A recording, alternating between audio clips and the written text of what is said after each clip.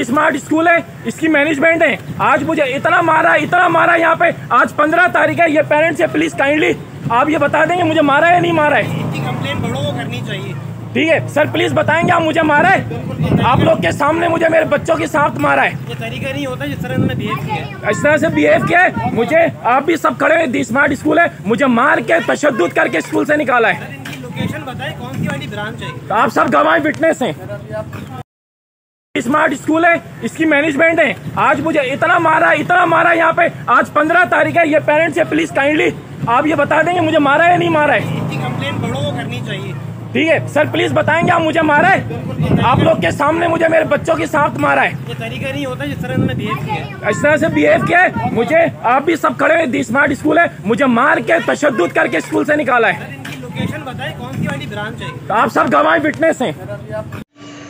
ये कराची का एक इंतहाई अफसोसनाक वाक़ है, जहाँ पर फ़ीस ना अदा करने पर एक वालद को उसके बच्चों के सामने स्कूल में तशद का निशाना बनाया गया है।